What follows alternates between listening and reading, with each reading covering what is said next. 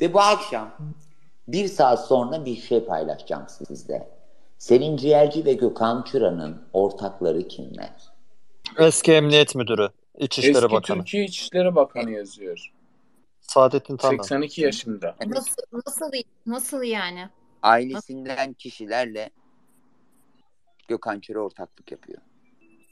Yani şimdi soruyorum şok olduğum için. Arkasındaki hepsinin arkasındaki el manasında mı Bana bütün bilgileri aktaran 5-6 iyi kaynağım var. Onlardan biri bir gün bugüne kadar hiç şaşmadı.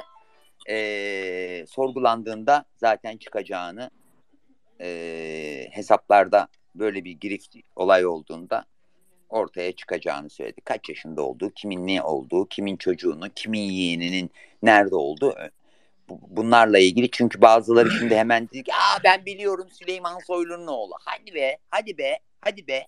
Sadece Selin Ciğerci mi yoksa Polatlar'da da mı aynı isim? Hayır, aynı kişiler değil. Onlardaki o. Hele bir tanesi başka bir e, güzellik merkezi tamamen Veysel Şahin'in kardeşi Murat Şahin'in finansörlüğünde büyüyor. Seyhan bunların hepsini belgeli yayınlamakla mükellefsin artık biliyorsun değil mi canım?